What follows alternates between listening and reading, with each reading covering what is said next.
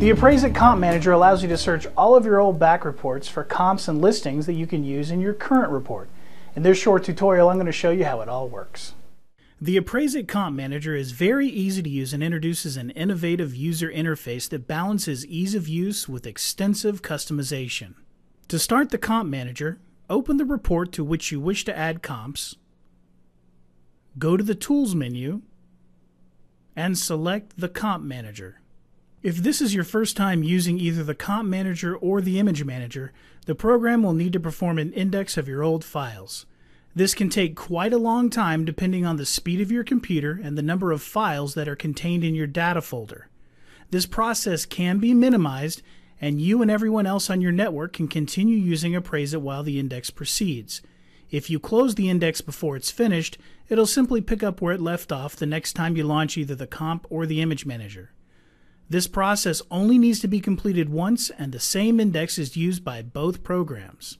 Once the Comp Manager opens, you'll find a series of green tiles in the center of the screen. These are your search tiles. You can use them to search for comp and listing addresses contained in any of your back reports. The default set of tiles that you'll find the first time you run the program should cover most of what you may search for while looking for a back comp or listing. If not, you can add additional tiles from the Search Parameters pull-down menu at the right. Simply pull down the menu, select the search tile you wish to add, and then click the Add Item button. If you would rather trim down the number of tiles, simply click the X in the upper right hand corner of the tile you wish to remove.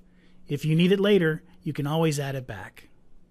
The Comp Manager will always remember the last search tile setup that was used. If you wish to store multiple setups, you can create a search scheme.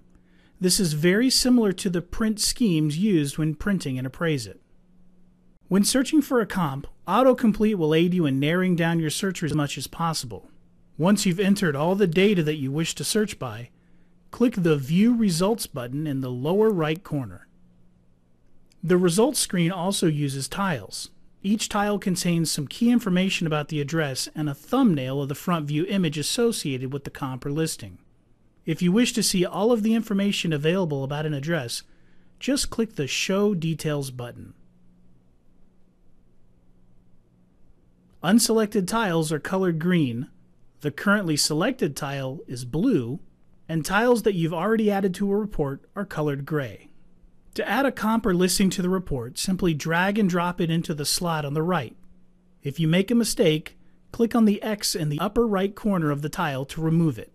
To switch to a different type of comp or listing, use the pull-down menu above the tile slots. When you're done adding your comps and listings, you can either click the Back to Search button to perform another search, or Transfer to Report to add the addresses to the report along with the front view photos. As always, if you need additional assistance, you can contact us by phone at 800 644 4051 or just go to the Help menu and Appraise-It and select Instant Customer Service for our chat support. Thanks for watching.